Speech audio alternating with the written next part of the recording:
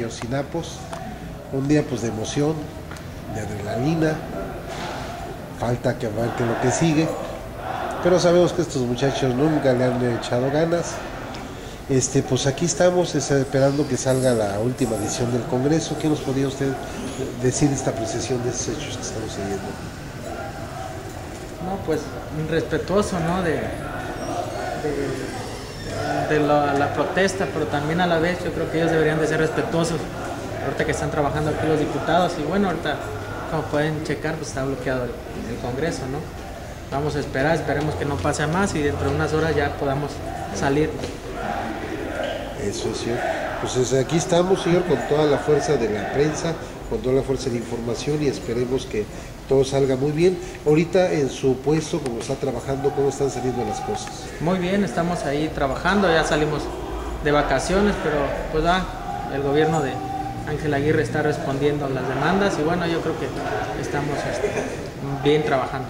Pues, en cuanto a, las finanzas que se manejan ahí en Fidaca, eh, ha habido un incremento, se mantienen las cifras a, la administración anterior en este año, ya fin de cierre de año. ¿Cómo se encuentran actualmente? Pues actualmente se encuentran pues bien, este, ya eh, estamos próximos a, cerrar el año y bueno, yo creo que, ha habido una participación de los colonos en cuestión de, la contribución al pago de sus propiedades, de, su, de su, la certeza de la tierra y creo que, que hemos ido avanzando bastante bien están utilizando otro mecanismo de más confianza y de más, eh, pues, ese acercamiento con la gente, ¿no? Para que tenga esa confianza de, ir a pagar. Sí, invitándolos a que, a que paguen, que, que, el comiso les está dando mucha, mucha, este, muchas facilidades para que se puedan hacer de su patrimonio y de que también este, se los dejen a sus, a sus hijos, ¿no? A sus descendientes. Así es, pues aprovechando el espacio, señor, como un acapulqueño más, ¿cuál sería su mensaje de fin de año para las personas que nos van a ver a través de los medios electrónicos que manejamos? Pues bueno, que pasen una feliz Navidad y un próspero año nuevo. Desearles todo lo mejor a nuestros amigos, este, paisanos, acapulqueños, que en estas fiestas decembrinas este, convivamos con la familia y que estemos, este, como dice el dicho, nada con exceso, todo con medida. Pues señor, pues muchísimas gracias por esta entrevista con la buena noticia que la Policía Estatal este, pues ya se, está haciendo demostrado que no tiene broncas en ningún hecho, por lo tanto el gobernador está limpio y vamos, seguimos avanzando. Pues algún mensaje para la gente que nos ve en Europa, Estados Unidos, Canadá y eh, también aquí en el Estado de Radio Televisión, algún mensaje para ellos, algo que se nos haya pasado, un mensaje de sembrinas.